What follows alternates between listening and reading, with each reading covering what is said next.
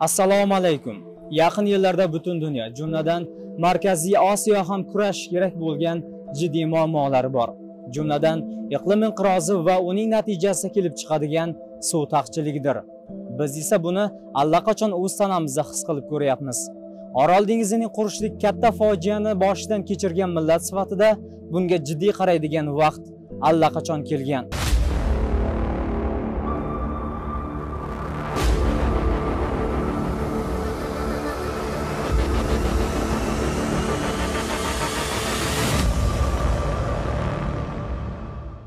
Markaziy osiyoda suv bilan bog'liq umumiy vaziyat qanday? Bizni muammo oxirgi paytdagi suv taqchilligidagi muammo taqsimlashdagi suvni taqsimlashdagi ozgincha e, nima deydi e, siyosiy masalalarda bilamiz hozir o'sha bizga kirib keladigan daryolarimizni hammasi suv omborlari bilan bo'g'ilgan. Suv omborlari bilan bo'g'ilgan. Bizga aynan suv kerak bo'ladigan momentda ular suv to'ldirishyapti. Misol uchun ko'pincha yani to'g'ri bor hozir suv va elektr energiya degan almashinuv bor. Ya'ni biz ularga qishda elektr energiya berishimiz kerak ular suvni to'ldirish kerak qishda suv omborini va suvda biz ulardan elektr energiyani sotib olishimiz hisobiga ular suvni tashiydi. Chunki bizni tog' davlatlarimiz bu tojikiston qirg'iziston asosiy elektr energiyani suv gidroelektr stansiyalardan oladi.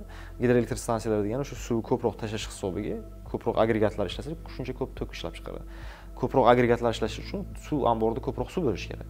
Ya'ni qishda ular ko'p suvni to'playdigan bo'lsa va qishda biz elektr energiyani ular o'sha gidroagregatlarni ishlatmasligi uchun eksport qiladigan bo'lsak ular suv to'playdi qishda va yozda bizga tashlashadi ham elektr energiyasi eksport qiladi bizga ham bizga nima?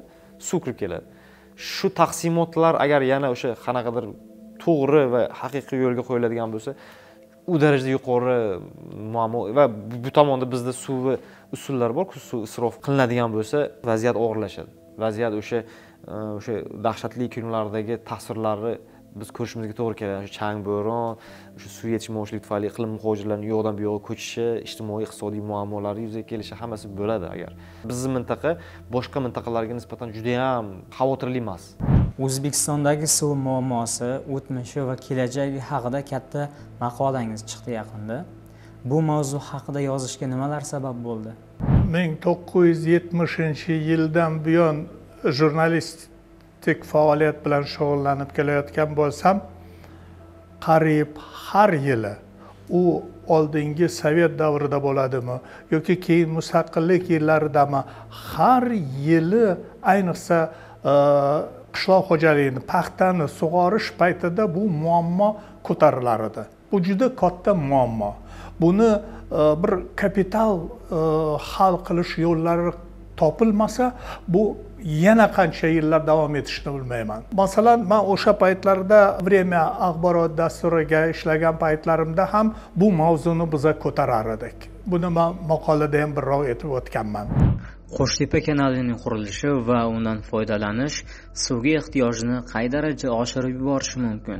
Misol uchun amudaryodan biz e, yil davomida mana bu yilgi o'tgan yildagi kuzda o'sha Э, tojikiston turkmaniston o'zbekiston o'rtasidagi shartnomada biz amudaryo suvini э, yigirma uch kilometr kubini foydalanishga kelishganmiz. Э, yigirma ikki kilometr kub turkmaniston kelishgan. Endi sakkiz kilometr kub atrofida tojikiston afg'oniston yo'q edi u ro'yxatda.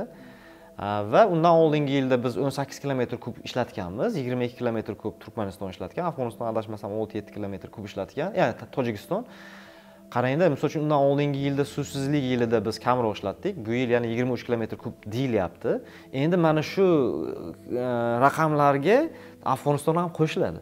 Endi xohlaysizmi xohlamaysizmi? Yigirma uch kilometr kub kamayadi yoki turkmanistondagi yigirma ikki kilometr kub kamayadi. Endi tojikistondan oqib o'tishni hisobiga ularda ham kamayishi mumkin va afg'oniston ham qo'shilyapti shunga.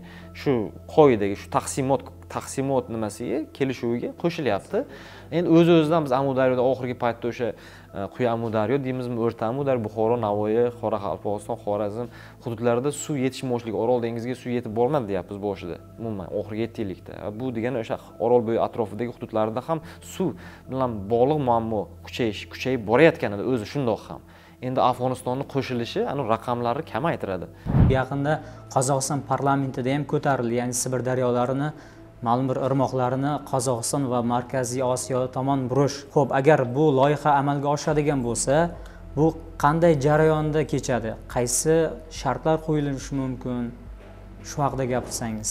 Adashmasam sharof rashidov davrida ham bu masala ko'tarilgan. Man yana bir e, gapni aytib o'tmoqchi edim. Biz e, ko'p katta miqdorda e, ho'l meva ishlab chiqaramiz. Uzum olma o'rik anor juda ko'p e, mahsulot ishlab chiqaramiz. Shu yerda bir narsaga e'tibor e'tibor berish kerakki biz sizga shirin shakar butun mahsulotlarni meva cheva e, e, poliz mahsulotni qovun tarvuz yetkazib beramiz. Lekin keling siz ham o'sha bekorga e, shimoliy muz okeaniga oqib yotgan daryolarni nihoyatda katta daryolarni masalan o'sha e, ko'tarilgan paytda besh foizi ob irtish daryolarining besh foizigina suvini agar tashlaydigan bo'lsa o'zbekiston qozog'istonga biz ana shu bo'sh yotgan yerlardan foydalanishimiz mumkin.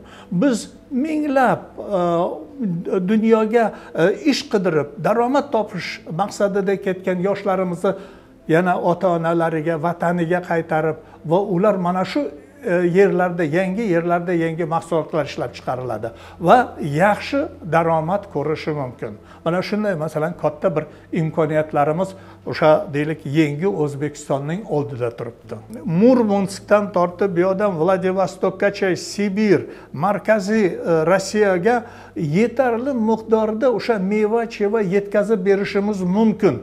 Faqat hammamiz birgalikda bir kelishib turib e, o'sha e, murojaat bilan davlatlar orasidagi munosabatlar e, orasida kelishish kerakki o'zbekistondan tashqarida bo'lgan suv manbalaridan ma'lum miqdorda foydalanish kerakligi shartnomalar tuzish kerak. Biz ularga masalan mahsulot yetkazib beramiz. Hatto ularni baholari oldindan kelishiladi.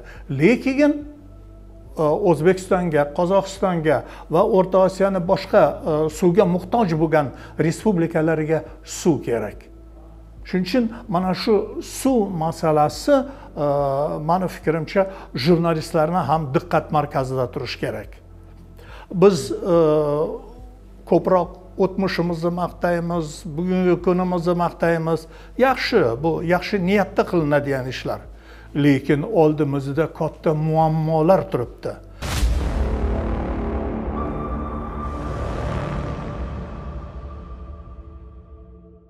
Markaziy osiyoning eng yirik amu va sirdaryolaridan besh mamlakatning 60 million aholisi suv ichadi qo'shtepa kanali qurilishi bilan bu raqam 100 millionga chiqadi.